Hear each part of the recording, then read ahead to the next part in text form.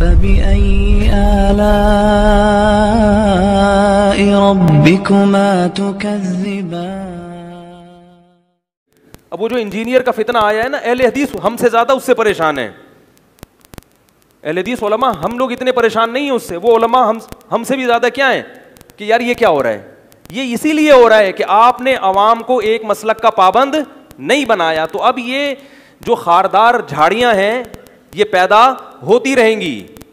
एक नहीं, दस किस्म के मुख्तलिफ़ इंजीनियर पैदा होंगे। ठीक है? हर एक की अपनी तहकीक होगी जो यूट्यूब पे डालेगा और पब्लिक पागल हो जाएगी कि ये सही कह रहा है, वो सही कह रहा है।